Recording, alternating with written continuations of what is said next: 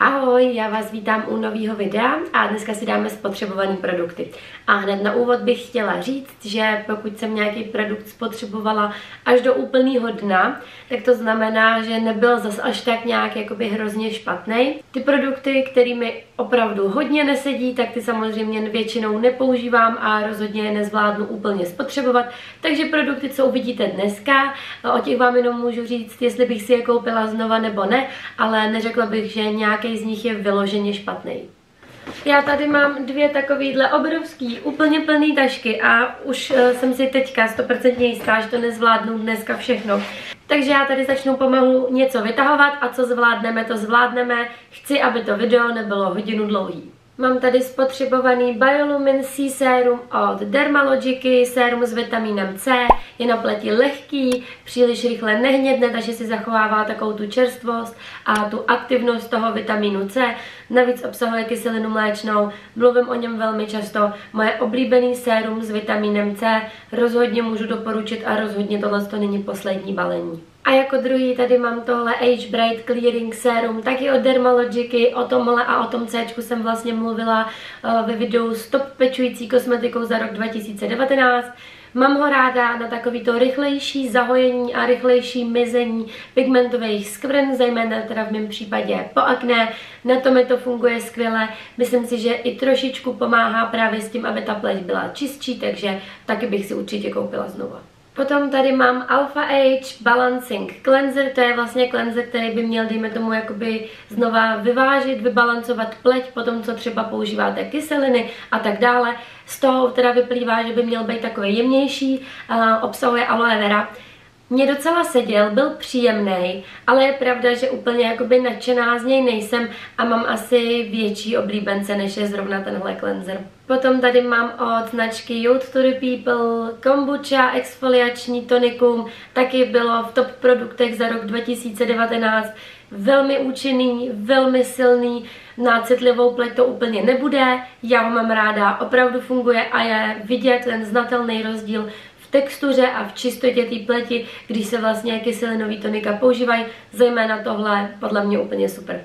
Čištění pleti jsem tady našla spotřebovaný Precleans Balm a to je vlastně tuhá varianta odličovacího oleje. Tohle je podle mě skvělý odličovací balzám, dělá mi pleti dobře, řekla bych, že bude vhodnější spíš na suší až normální pleť, protože on je takovej hodně hutný a hodně výživný. Myslím si, že třeba masná pleť by s ním mohla mít trošičku problém, ale právě na suchou podle mě dobrý odličovací balzám takový basic tonikum pro, dejme tomu, všechny typy pleti, pro uh, kohokoliv, je vlastně tohle Pixie Glow Tonic, má v sobě 5% kyseliny glykolový, to znamená, že není příliš koncentrovaný, právě díky tomu bude sedět i citlivější pleti a může se používat každý den. Pokud potřebujete něco silnějšího, tak bych sahla třeba po Tom Youth to the People, ale pokud chcete s kyselinama třeba začít nebo nepotřebujete tak velkou exfoliaci, tak tohle je podle mě fakt takový dobrý prostě basic tonikum. A vzhledem k tomu, že tohle je moje asi tak pátý balení, tak si myslím, že je jasný, že bych si ho asi koupila znova. Další produkty, o kterých jsem mluvila v Top Kosmetice za rok 2019, kyselina mléčná a kyselina mandlová od The Ordinary. To jsou moje asi neúplně nejoblíbenější kyseliny. Mně se na nich líbí že je zvládne právě i citlivá pleť, že tolik tu pleť nedráždí, protože právě kyselina mléčná a kyselina mandlová jsou takový, dejme tomu, jemnější kyseliny, i když samozřejmě pořád funkční a budou tak proto vhodný i na citlivější nebo na starší pleť. Mám je moc ráda a určitě budu kupovat znova. Potom tady mám Pixi Vitamin C Serum, já jsem neviděla, že by to něco dělalo, popravdě já jsem neviděla vůbec žádný účinky. Je příjemný, hezky voní, ale co se týče nějakého rozáření, já tady koukám, co tady ještě píšou, tak toho jsem si nevšimla a za mě podle mě lepší a efektivnější na moji pleť. Třeba právě Pixi Glow Tonic, anebo klidně i ten Retinol Tonic. Tohle asi nepotřebuju znova. Potom tady mám olejový tuhej balzám cleanser od eFlom, je to taky ten strašně profláklý tuhej odličovací balzám. Podle mě tady bude ještě minimálně jedna krabička, protože jsem spotřebovala dva. Má takovou zvláštní bylinkovou vůni, ale je příjemný, ale přijde mi, že na té pleti netaje až tak dobře, jak bych si představovala, že je takový jakoby tuší, hutnější. Možná to někomu bude vyhovovat, někomu se možná bude líbit ta vůně. Já popravdě z tohohle odličovacího balzámu nejsem zas až tak nadšená a i vzhledem k ceně mi možná přijde prostě lepší ten Clinique Take the Day Off. Já jsem asi objevila novýho favorita, o kterém budu mluvit někdy příště, Emu Hardy, protože teďka, jak mám právě srovnání, tak mi ten e přijde takový, dejme tomu, slabší. Další odličovací olej, tentokrát teda v tekutý formě, Boskia, Bouša, uh, Makeup Breakup Cool Cleansing Oil, je to takový chladící odličovací olej. Nicméně dokážu si představit, že si tenhle produkt koupím znova. Ten olej chladí, ale dělá to opravdu jenom nepatrně. Není to nic nepříjemného, hezky odličuje, neštípe mě v očích, takže vlastně jako asi proč ne, pokud scháníte nějaký novej. Pak tady mám Origins, tuhle malou lahvičku, to je Super Spot Remover. Já popravdě jsem čekala asi větší účinky, čekala jsem větší zázrak dejme tomu. Já mám teďka tenhle ten spot treatment od Dermalogiky a ten mi třeba přijde, že funguje víc. Já u tohohle moc ty mm, pozitivní změny nevnímám, nepřijde mi, že by se ty pupinky nějak rychle zhojily. Je mi to moc líto, já mám značku Origins ráda, ale tohle to teda za mě asi ne. Za to mám tady tenhle Clear Out od Clarance a to je vlastně ta samá věc, je to spot treatment na pupínky. To mi přišlo, že něco málo dělá. Není to samozřejmě zázrak typu, že večer nanesete ráno ten pupínek nemáte, ale viděla jsem, že to pomáhá urychlovat to hojení. Nicméně asi vyloženě znova to teďka okamžitě taky nepotřebuju. Pak tady mám Sephora plátinkovou masku, tohle je Grape Face Mask, takže s roznovým vínem. Já si popravdě ani nepamatuju, jaká byla, což nikdy není dobrý znamení, prostě maska. Já si je dávám občas ráda, i když třeba nic vyloženě viditelně nedělá jenom pro ten pocit, že si jako dopřávám ten relax a dělám si to jako hezkou chvilku sama pro sebe, ale prostě na druhou stranu za stovku, že jo. Odličovací ubrousky Sephora, tyhle jsou hemp cleansing vibes, takže jakoby s konopím, já mám problém s tím, že mě prostě veškerý ubrousky odličovací ze Sephory uh, na té plati pálej, takže já je používám potom na svoče nebo vyloženě třeba na rtěnku, když stírám a tak, ale taky asi nepotřebuju znova. Co ale teda za mě rozhodně ano, jsou tyhle ponožky ze Sephory. Mám tady mandlovou Almond Food Mask a tu levandulovou Lavender Food Mask. Uh, tady píšou, že se mají dávat na 20 minut, já to tam nechávám klidně několik hodin, klidně přes noc.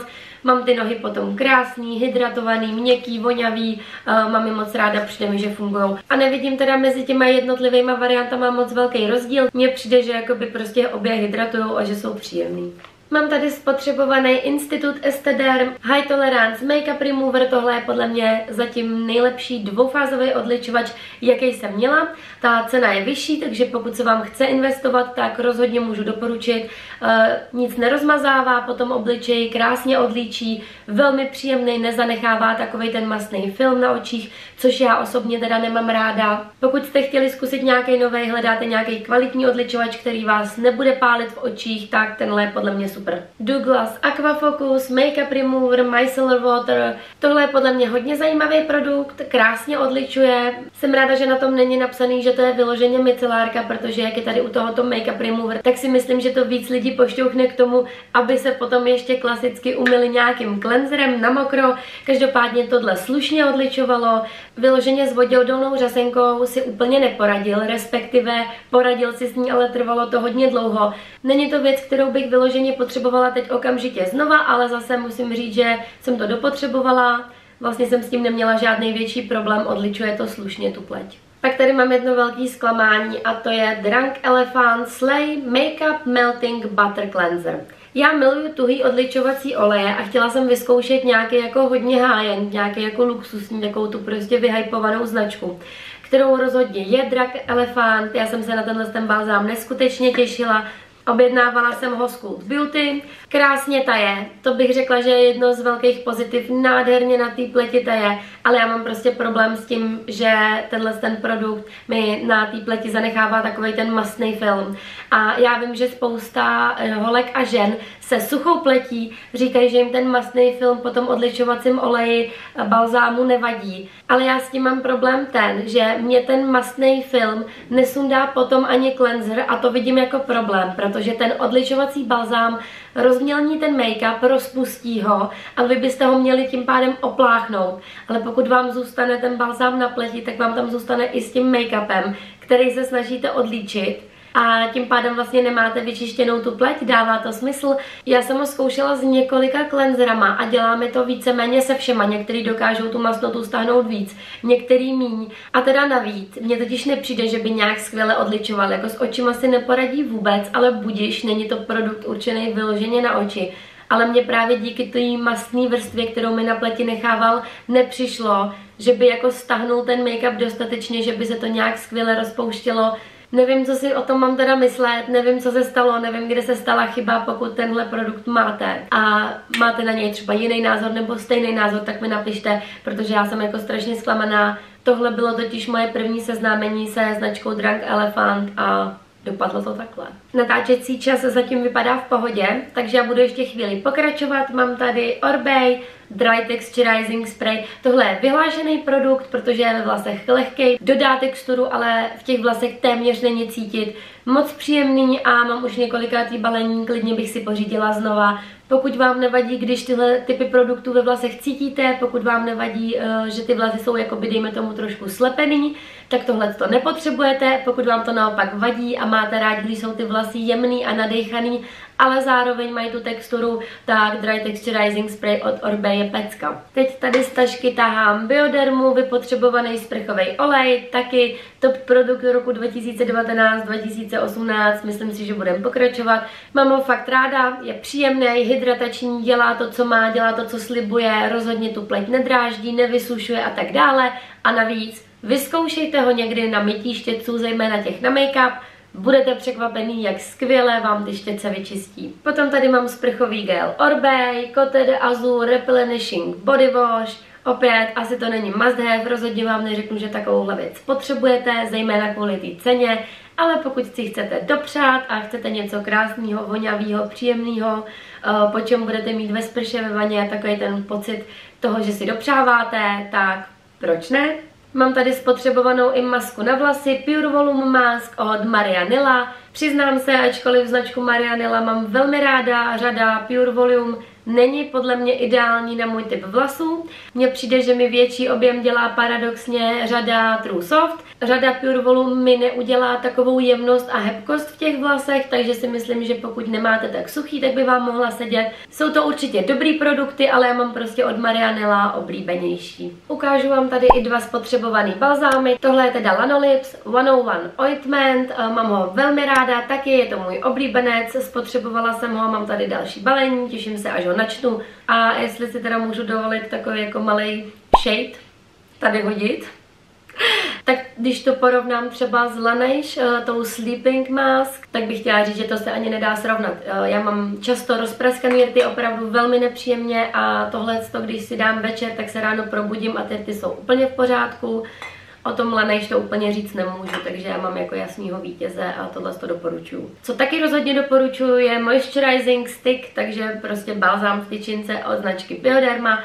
Velmi mile mě tenhle produkt překvapil a já moc balzámy v tyčinkách nepoužívám, protože z nějakého důvodu mi přijde, že mi ty rty ještě víc vysušují nebo že minimálně nedodávají tolik té hydratace, jako když je ten balzám třeba v kalíšku nebo v tubičce. Tohle hydratuje a chrání ty rty krásně. Za mě teda úplně super, rozhodně můžu doporučit a rozhodně bych si koupila další, ale mám tady teďka na vyzkoušení ten uh, v takový té tubičce mačkací, tak ten zkusím jako příště, ale tohle je podle mě super. Co mě popravdě pozitivně překvapilo a nečekala jsem to je L'Oreal Paris Smooth Sugar Scrub a já mám tenhle ten Clear Scrub zelený, kde jsou ty kivy semínka, Moc se mi líbila ta vůně, je to teda taková ta klasická umělá vůně, jako dřív byly takový ty kivišťávy ve skle, které se ředily vodou, tak přesně takhle to voní. Kromě teda té vůně, která je sladká, ovocná a mně se teda velmi líbí, tak tenhle ten skrap je lehce zahřívací a má v sobě různý zrníčka. Ty kivy bych podle mě nepovažovala vyloženě za peelingový kyselinkový, ty jsou tam podle mě na efekt, ale potom je tam právě ještě ten cukr, smooth sugar se to jmenuje, takže cukr. U cukrových peelingů je dobrý, že se ty zrníčka při kontaktu s vodou rozpouští, takže se vám nepodaří si tu pleť obličeje zbytečně poškrábat, zbytečně ji podráždit, to je podle mě super, takže já musím říct, že za mě tohle asi není špatný, jednou třeba za 14 dní, jednou za 3 týdny, já už mám hrozně dlouho a podařilo se mi ho spotřebovat fakt asi jako za půl roku, protože já ho nepoužívám moc často, právě kvůli tomu, že používám kyseliny, ale když mám chuť na peeling, tak tenhle ten teda nebyl špatný. A protože se snažím dneska udělat to 15 minutový video, tak tady mám poslední věci a to jsou sprchové pěny od Rituals. Mám tady klasiku Ritual of Sakura, potom tady mám tuhle Foaming Fiesta, to je taková ta s tou modelovací pěnou, jak jsem vám ukazovala v nějakých nákupech, jak mi upadla na zem. Každopádně tuhle to teda vypoužívali děti. Sprchový pěny Ritual jsou podle mě super, taky určitě si koupím znovu, mám je snad nejradši právě ze sprchových pěn a když nepoužívám nějaký sprchový olej, tak právě Ritual sprchový pěny. A já jsem teda na sebe pyšná, protože v té jedné tašce, která byla úplně plná, a v téhle druhé tašce už je jenom půlka, dejme tomu, ani ne půlka. A to si dáme někdy příště. Já mám radost, že budu moct vyhodit spoustu odpadků. Doufám, že i vám se tohle video líbilo. Spotřebované produkty bývají většinou hodně oblíbený, takže doufám, že vás to bavilo i dneska. Napište mi, co jste naposledy spotřebovali vy, jak jste s tím byli spokojení nebo jak jste s tím nebyli spokojení a já se budu těšit zase příště u dalšího videa formát, takže já doufám, že vás to dneska, já tady koukám na kocoura. Tady mám kocourka, pojď sem, tak, ukaž se. Ukaž se.